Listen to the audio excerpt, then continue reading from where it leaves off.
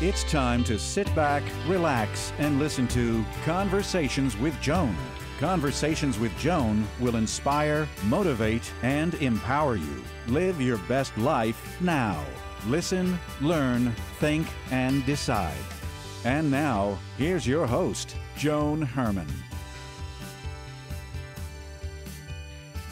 Welcome to Change Your Attitude, Change Your Life's Conversations with Joan. I'm Joan Herman. Thanks for tuning in. Conversations with Joan focuses on topics that are important to your life, from health and wellness to professional development to personal well being. Change makers join me to share their insights, tips, and strategies so you can thrive and live your best life now. Thank you for taking time for yourself, and thank you for letting us be a part of your life. Now, let's start talking. In today's fast paced world, achieving personal growth and financial success can be challenging. Today's guest, Reverend James Parker, teaches how to develop the mindset, habits, and practices that are necessary to reach our deepest desires. He joins us today to offer a blueprint for abundance and success. Reverend Parker is the senior minister and CEO of Unity Chicago. He's the author of the book, The Wealth Spark Igniting Your Path to Abundance and Success. Welcome, Reverend. Thank you so much for joining us. Thank you for having me, Joan. So, Reverend, when we think about achieving financial success, we may not think about it as having a holistic approach to wealth. Can you explain to us what holistic wealth is? Holistic wealth is at the core of the Wealth Spark. It's really about enriching every aspect of your life, not just your finances. It's really about integrating financial success with abundance, per, your personal life, your relationships, and whatnot. So it's it's a, a much more fulfilling and gratifying way of experiencing success. Well, you know, and, and, the reason I opened with that, I think a lot of people, they think when they want to talk about financial wealth or financial abundance, it just relates to work, work, work and put more hours in at the office, but they're miserable and the relationships suffer. And so is it your contention then that when we are happy and in loving relationships, wealth will follow? That's absolutely the case. In fact, uh, in the book, I emphasize that one can be very wealthy, but still uh, kind of lagging in their experiences and their happiness. They're, they do not have any joy and, and they lack peace. And at the same time, someone can uh, be lacking in wealth, but also have the right attitude and experiences. So it's really about making it a more well rounded experience for, for everyone. There are so many people, Reverend, that I know that really come from a place of lack. Like they truly believe that things will never happen for them or that there isn't enough wealth to go around. What do you say to someone who lives their life with that mentality? Yeah, it's it's sad that uh, there are those out there who have a lack and limited uh, mentality and, and a belief system, and I really discussed that in chapter one of my book in, in, in greater detail. It comes from having a scarcity mindset, in my opinion. Someone who just has limiting beliefs, who talks negatively to themselves, who has this negative outlook on life, and, and I, I'd say to someone in that case that they need to change their mindset to a wealth mindset, to something that's more optimistic and allows them to grow and learn.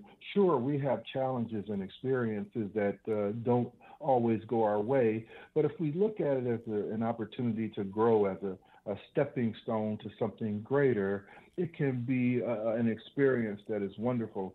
Uh, uh for example, um, a few several years ago, I uh, was up for this position uh, that I just knew I was perfect for. This position had everything uh, had everything going for it that I wanted, and I was perfectly uh, ready for it. Yet, uh, when it came time for the interview, things just didn't work out. I, I I got on the Zoom call. Three minutes into the Zoom call, my laptop crashed several minutes later, I, I, set it up on my cell phone so that I could still uh, experience the Zoom call. Ten minutes into that call, the the my my the juice went out of my phone. I had no charge. Needless to say, I didn't get the job. But then six months later, I received a call. A friend had recommended me for a, a position, that turned out to be the perfect position for me. Not only did it allow me to hone the skills I had, but it allowed me to learn and grow more, create partnerships and collaborations, and really brought me brought me to a, a much better space. And I and I can look back now and say it was a blessing. But in the moment, I was concerned that uh, you know things weren't working out for me. I had this why me mentality. I, I was uh, actually feeling like a victim. So, yeah, you know, I think someone can just turn it around by allowing themselves to learn from their experiences, to remove themselves from any limiting beliefs, and to become open to a greater experience. Do you think that the problem is that we are so attached to an outcome? So, for example, if you were so stuck on having that one outcome, you know, that's what made you feel like you were a victim. But if you allow a redirection or a blessing, as you're saying, you know, that's when things really do turn around for us. So, how do we get rid of that mentality of being so attached to an expectation or an outcome? Yeah, yeah, that's a very good question. I, I think the way that we do that is that we, we begin to not only change our, our mindset, but that we begin to create uh, better habits, you know, more positive habits. For instance, I, I read uh, one of your articles and it was amazing on expectations.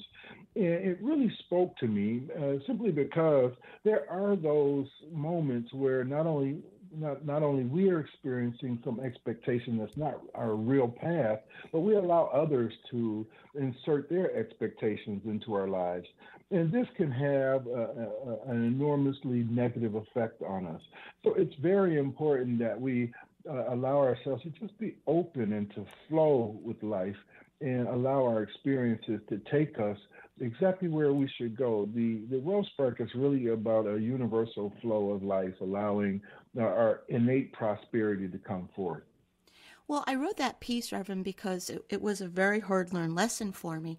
You know, I had, like so many of us, we, we write these stories for the way our lives are supposed to turn out.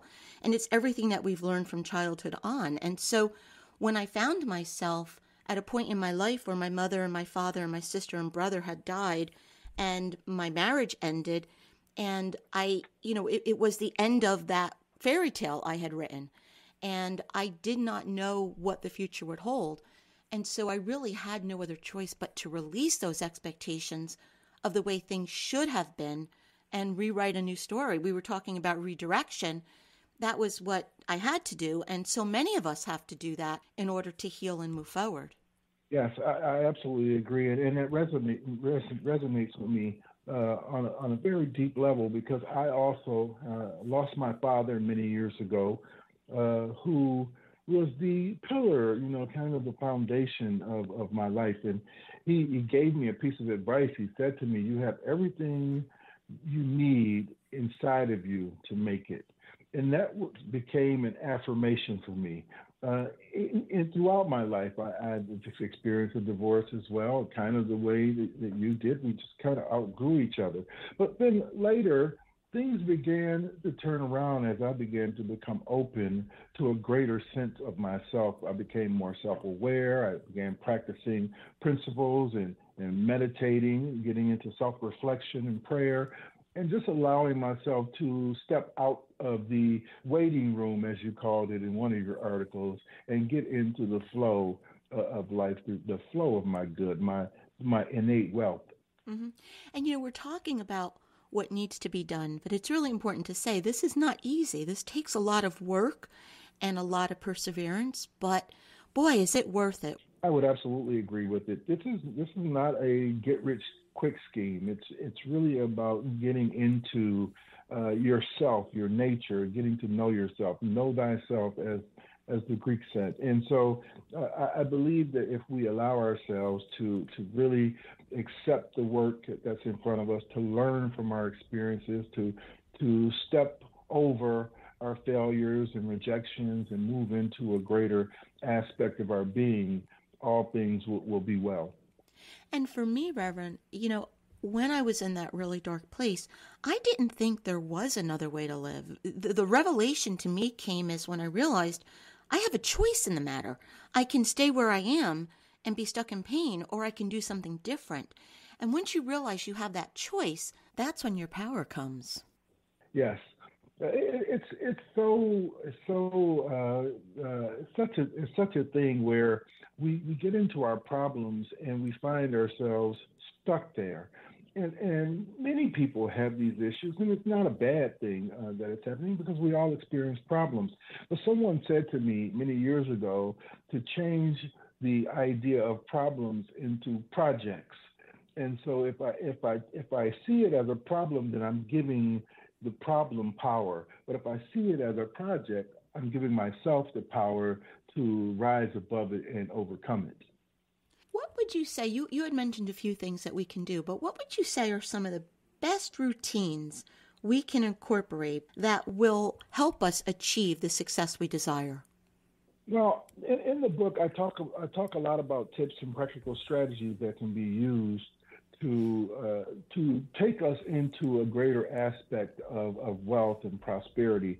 For me, those things kind of outline into you know educating ourselves. Stay open to learning in, all cases. Find a way to um, learn uh, greater things about financial basics, even you know, set smart goals, you know, goals that are specific, that are measured, that are achievable, that are relevant, that are time bound. That way you allow yourself to get into it and see the flow happening in front of you. And then I, I would say make informed decisions, you know, allow yourself uh, to to become open to to listening to your inner self, your inner guide, and make decisions that will bring you forward and then and then from there, I would say just consistently review things and, and, and be willing to adjust your plans as you move forward. So many people today are really struggling. What do you believe is at the root of that pain?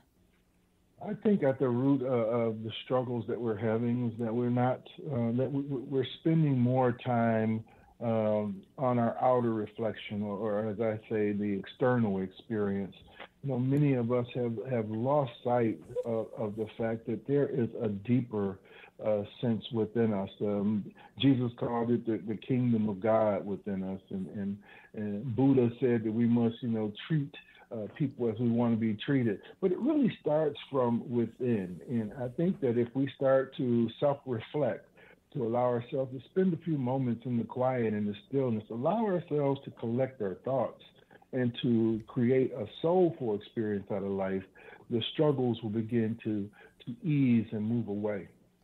I hear a lot about a spiritual awakening that people are trying to learn about the things you just described. Are you seeing an awakening taking place? I am. I absolutely am because we are in a, an evolutionary state as as always, and so everything is kind of moving forward. Even when things are looking uh, like they're not going in the right way. They're absolutely moving in the perfect way. Uh, this is kind of a universal experience, and so I believe we we have to just continue on the path. Just allow ourselves to continue to walk the path. If we if we if we do it that way, then there there's no way that we can live in a place of regret or, or find ourselves wondering what if. Uh, but we just allow ourselves to live in the not yet. And I think also there has to be an element of faith, of, of believing that things will work out, that there's a greater power. What do you think happens to us when we no longer believe that things will turn out the way we want them to? Well, you know, that that's a very good question, and I, I want to say, sure, we lose faith, but you know, to be honest with you, uh, faith never goes anywhere. It's another one of those traits that is inside of us, um, just like love and peace and, and, joy and happiness. Faith is another one of those powers that we can activate at any time. The, the challenge is, is that we become disconnected, um, usually because uh, we are not allowing ourselves to spend time in our moments. We're not living in the now. We're either in the past somewhere or we're in the future. And so we're either in doubt or we're in fear. But if we just allow ourselves to be in the now, in the moment, and, and just come forward, you know, seeing that um, there is a greater presence at work in our lives, that that there's a, a higher power or a spiritual presence in the midst of us, we can absolutely work through that. I love the I love the the the, the, the saying Now, if you feel like um, if you feel like God is distant, guess who moved? You know, mm-hmm. the faith never moves away from us. It's us who moves away from faith, but it's always right there. And I think it's so important today, especially. I mean, it's always important, but it really feels particularly important today because we're on the other side of this pandemic, and who knows what'll happen next with, you know, a health crisis again. We have wars going on. We have financial insecurity. There's so many external forces that are impacting our lives that it really is important for us to take control of ourselves, to find the inner peace and to do the work. Otherwise, we can so easily become overwhelmed. Yeah, and that's absolutely true. And in fact, that's what prompted me to write the Wealth Spark. It's it's really about awakening ourselves to a wealth that is within us. You know, you're, you're absolutely right when you say that there's a lot, there's been a lot going on since the pandemic.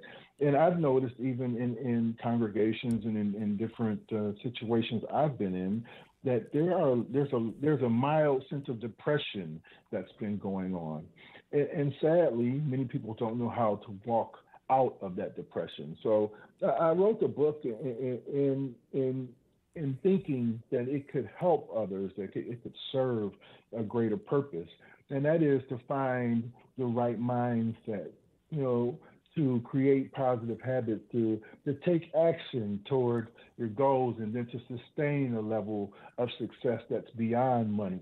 Because when you feel good about yourself, then you'll take the steps that are necessary to acquire that wealth. Absolutely, you will. And um, even when you're not feeling good about yourself, you can find a path to feeling good by allowing yourself to come just to to transition or transcend the, the situation and work toward a greater purpose. The book is The Wealth Spark Igniting Your Path to Abundance and Success. If you would like to learn more about the Reverend and his work, you can visit thewealthsparkbook.com. Reverend Parker, in our final moments, what's the takeaway? What would you like to leave our listeners with? My takeaway in, in, in this case is that there is a power within you, a wealth of power. And, and it's our job to access that power, to activate it. And we do it simply by allowing ourselves to come into a greater flow in every aspect of our lives, not just in our finances, but also in our personal lives, our relationships, our health, and as well as our purpose.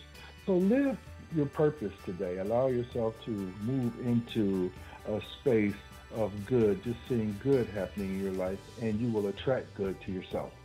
Reverend, thank you so much for joining us. Thank you, Joan. Really enjoyed it. Thank you for joining us. I hope you found the show informative. At Change Your Attitude, Change Your Life, we believe that knowledge is power. Take what you've learned, apply it, and live your best life now. Remember that the information provided is the opinion of our guest and should never replace the advice of a professional who knows your personal situation. If you'd like more information, visit our website, CYACYL.com. That stands for Change Your Attitude, Change Your Life. While on our site, listen to past shows on demand, read the digital magazine, sign up for our mailing list, and be sure to follow the show on social media. Until next time, this is Joan Herman. Thanks for tuning in.